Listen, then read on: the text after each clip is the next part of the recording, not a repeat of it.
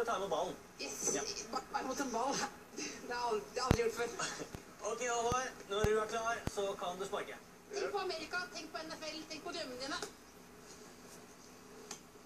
Ah, der er hvor jeg er!